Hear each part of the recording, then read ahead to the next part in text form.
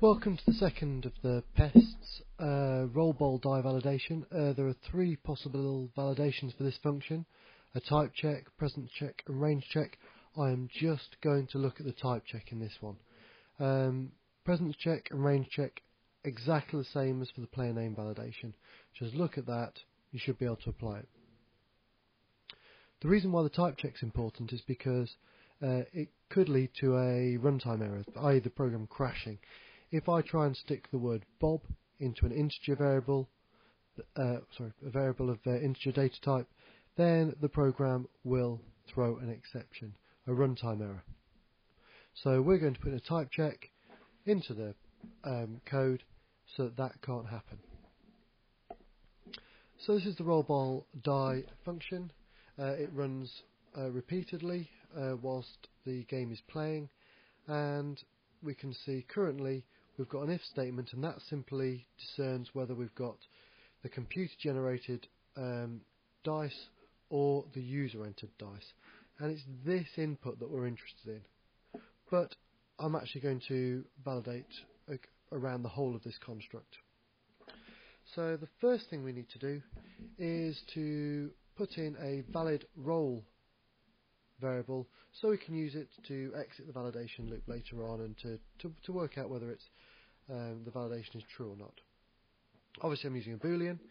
Uh, the next thing I'm going to do is use a try catch statement. This is just a posh selection statement, a posh if statement.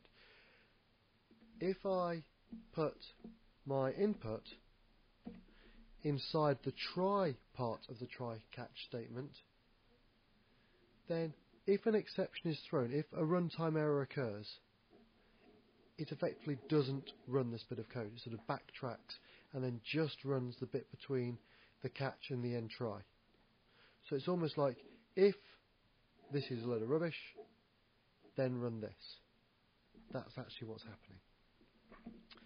Uh, so I'm obviously going to set valid roll equal to false in the um, in the catch part of it, and I'm going to give them a little message to give the user a little uh, message so that rolls must be integers between 1 and 6.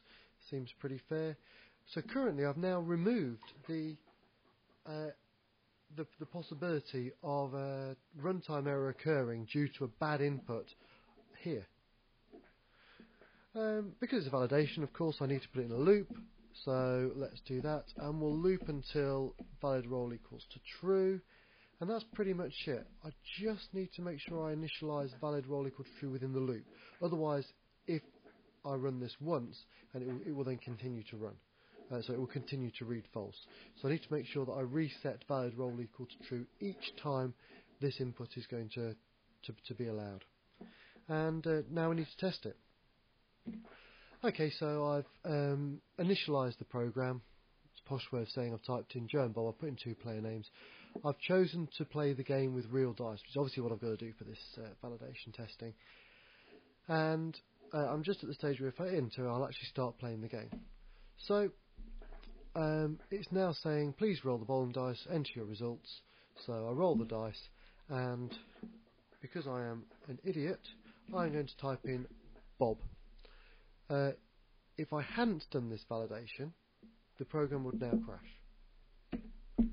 Instead what happens, it gives me a message rolls plus me integers between 1 and 6 and asks me to do it again.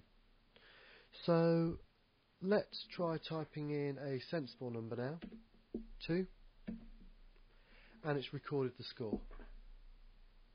Uh, please press to continue. Let's see what happens if I type in 9. Now this is not erroneous data. This is not. This will not produce a runtime error, but it is out of the range of the expected results.